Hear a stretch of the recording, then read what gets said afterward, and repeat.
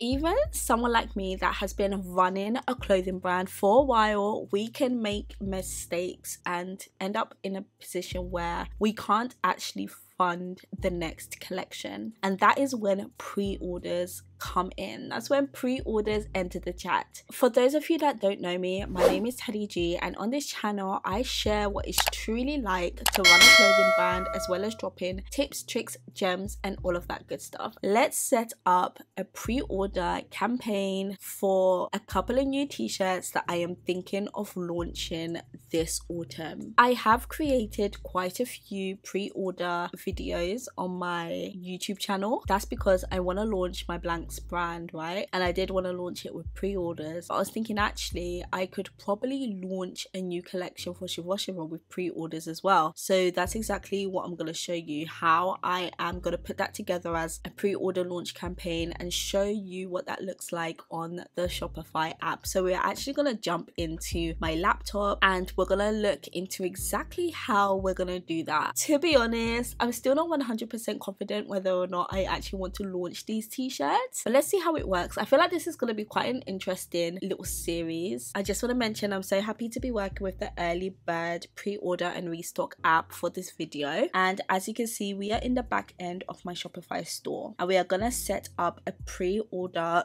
launch campaign for these brand new t-shirts that I don't even have a name for yet. So the first thing we're going to do is actually hop into Canva and these are the t-shirt mock-ups that I've created using Canva to use as part of my pre-order launch campaign and they match the aesthetic of the flats that I have on my website already. So I'm just going to go ahead and download those in JPEG and in a good high quality. I am now back in my Shopify app and I'm going to go over here where it says products and I'm going to add two new products. We're going to call the first one Shava t-shirt crew and for the description I'm just pasting a description from one of my previous t-shirts. I'm going to leave it like this for the purposes of this video. So I'm now adding the images of the t-shirt and the price is going to come in at 60 pound. Down here I'm going to add the variants which are going to be size. So we're going to have small, medium, large, and extra large. They've changed this and made this even more complicated to add product.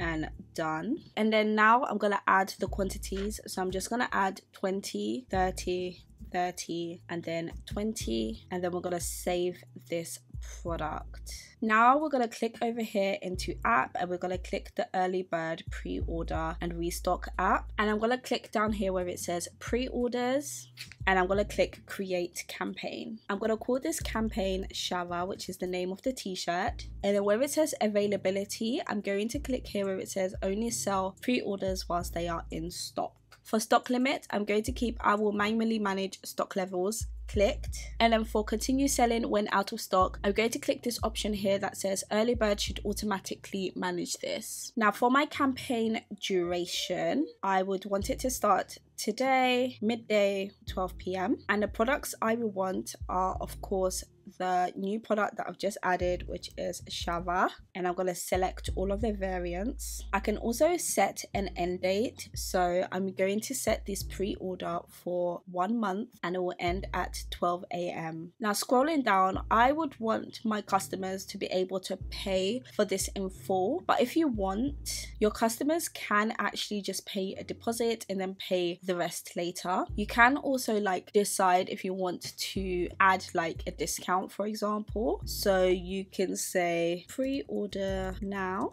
and get 10% off. Then I'll apply a discount. It's going to be a percentage and I'm going to call it 10%. Now over here, we want to put in the fulfillment date. So this will be the date that you're going to be able to actually start sending out these orders to your customers. So I'm going to select a specific I can't talk.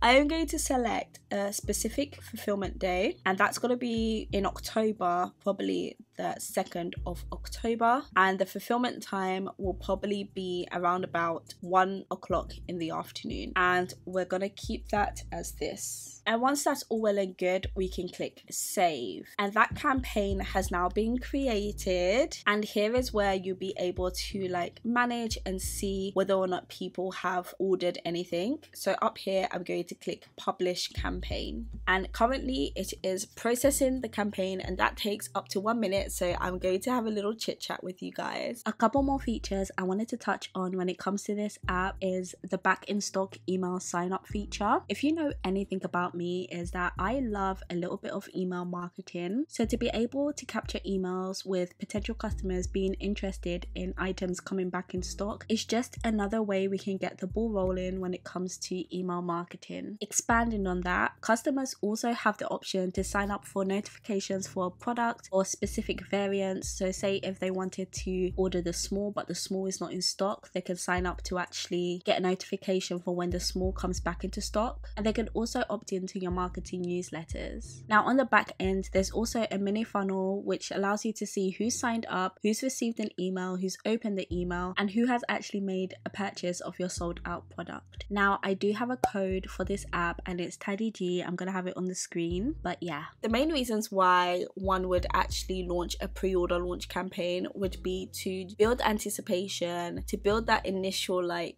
cash flow, especially if your cash flow is a little bit limited. It also reduces inventory risk. So you're not ordering stock that's essentially not going to sell. So, for example, when it comes to Chevrolet Chevrolet, I would say the stock that doesn't actually sell, funnily enough and hurtly enough, is actually our tracksuit bottoms. And I've got a feeling that I know the reason why. And if you want me to do a video on my top performing products and my not so top performing products and the reasons why I think, then please let me know in the comments and I will definitely film that video for you guys. So we've jumped back into my screen and the campaign should be live. So if I hop over here onto my website and I go over to all and I scroll and I scroll, I should be able to find my brand new product here. And as you can see, it's got that beautiful pre-order tag right there. I do need to adjust the way this is on my website. I think I got the, the image size wrong. I don't know how I managed to do that. But if I click onto my product, you can pre-order the t-shirt.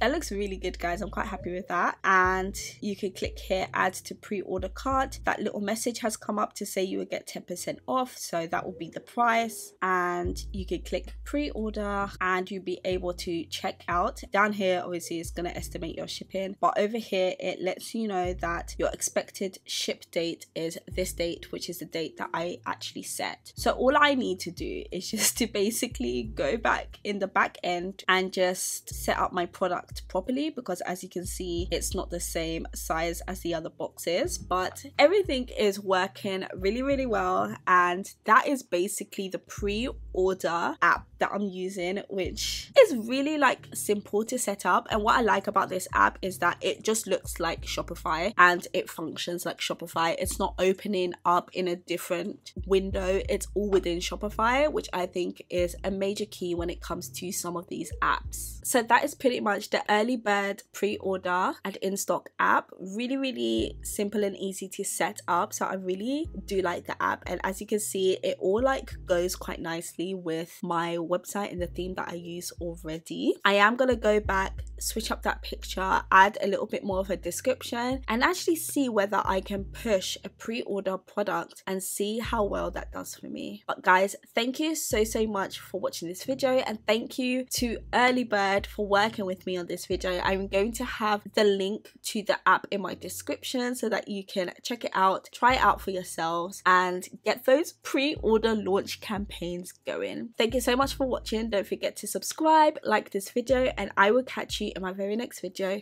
Bye.